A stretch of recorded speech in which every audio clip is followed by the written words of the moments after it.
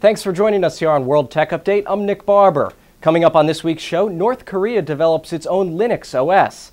Intel introduces a new classmate PC at Germany's CeBIT, and Google tries to explain that Street View is nothing to fear.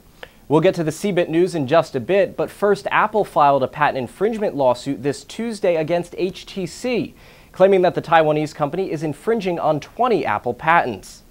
The patents are related to the iPhone UI and the smartphone's underlying architecture and hardware.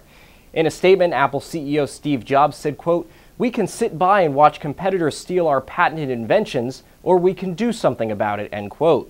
HTC has not commented on the filing yet.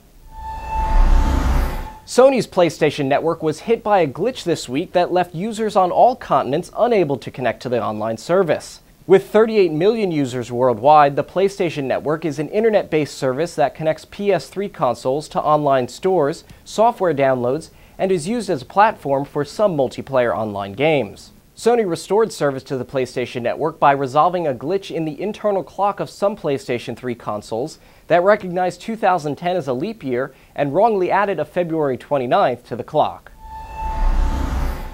Environmental group Greenpeace is criticizing Samsung for reneging on a promise to remove harmful substances from its products. Here, Greenpeace activists can be seen installing signs on the Samsung building in Brussels. In 2006, the company promised it would end the use of brominated flame retardants, or BFRs, in its products by January 1, 2010, but that never happened. In November 2009, less than two months before the deadline, Samsung emailed Greenpeace to say it wouldn't be able to keep its promise. BFRs have the potential to damage the environment and harm human health, and their elimination has been a major goal of Greenpeace in the electronics sector. Other companies like Dell, Lenovo, and LG Electronics delayed changes as well, but they confessed at least one year before their deadlines. Samsung says it will now remove BFRs from MP3 players and digital cameras by June 1st of this year, and from laptop computers by January 1st, 2011.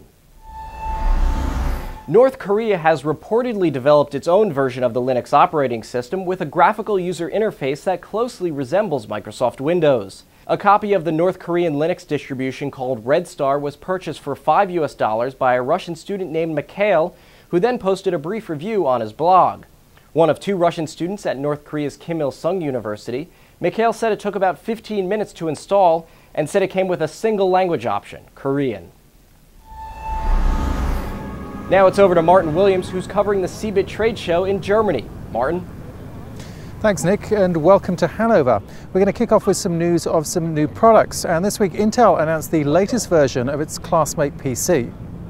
The student targeted Classmate runs on a new Atom processor, the N450, which uses 20% less power than previous models, so prolongs the battery life.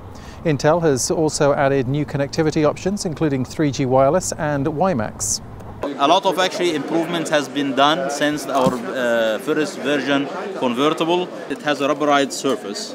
So this rubberized surface, it gives you more feeling of ruggedness as well as it drops better. So now it can withstand a, a drop from the desk height of the kids. You know, it has a bigger screen. This is now 10, 10.1 inch screen. A bigger keyboard. It's almost a full-size keyboard now. Intel won't make the machine, it's a reference design offered to PC makers. The first model should be out in April.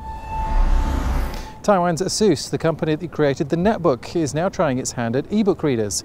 The DR900 is due out in the second half and has a 9-inch touch-sensitive display. The battery should last about 10,000 page turns before it needs to be recharged, and the 4 gigabytes of internal memory is enough for hundreds of electronic books. ASUS hasn't announced the price. And Mio's latest navigation device, the Move V780, comes with a 7-inch touchscreen. Video is a main feature and it can play back files and tune into digital TV. It can also be hooked up to a TV and play back high-def video. There's a web browser and music player alongside the core navigation function. It'll be available in the second half for around 499 euros. That's about 680 US dollars. CeBIT is all about selling products, but Google is here for the first time trying to sell an idea to a skeptical German public that their Street View service isn't evil. Street View has launched in several European countries despite protests from privacy advocates, but in Germany the situation is different. Here, the company is building an opt-out system to appease the privacy authorities. Right now we are working on an opt-out tool So for, for German users, um, we have the opportunity, or we give them the opportunity that they can tell us now that they don't want to have the house included in Street View. As part of its push, Google's chief technology advocate spoke to local media and tried to sell them on some of the benefits of Street View and allay some fears. The pictures are still kind of blurry. It's, it's, not, it's not some super spy camera. It's a little camera on top of a car, and the car is shaking. It's, it's not super high quality photography, but it's enough to say, oh, it's that building, it's not the other building. At CeBIT, attendees can get an up-close look at three Street View cars, and the company has let artists loose on them, something that ironically has visitors snapping pictures. How many will take Google up on its exclusion program remains to be seen, but company officials say they expect it to be a small number.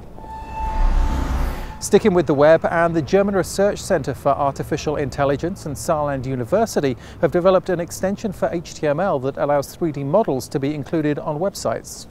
This is the kind of thing they can do with XML 3D. This is a 3D model of a Venetian palace embedded into a Wikipedia page.